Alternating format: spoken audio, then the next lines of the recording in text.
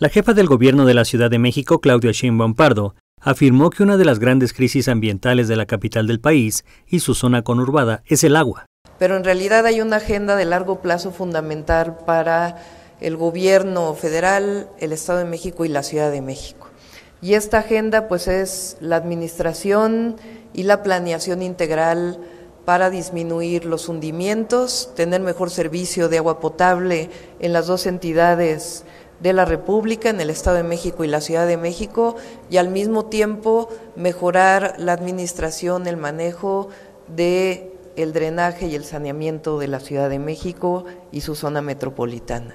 La titular del gobierno capitalino destacó la necesidad de mejorar el servicio y calidad del agua para ambas entidades. Es un tema que no se ve porque las grandes obras quedan enterradas, pero eh, es uno es una de las grandes crisis ambientales de la zona metropolitana del Valle de México, el tema del agua.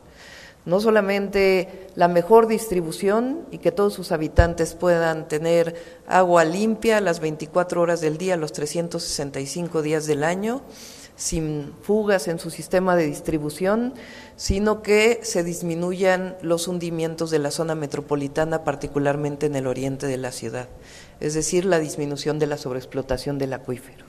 En el antiguo Palacio del Ayuntamiento, la directora de la Comisión Nacional del Agua, Blanca Jiménez Cisneros, recordó que las ciudades representan el 1% del territorio de tierra en el planeta, y en ese 1% crea una gran demanda y un gran desalojo del agua. Curiosamente, la Ciudad de México es única en el mundo porque sacamos todo el agua para el mismo lugar, para el norte. Eso es rarísimo, eso no ocurre en ninguna otra parte del mundo. ¿Qué nos está planteando?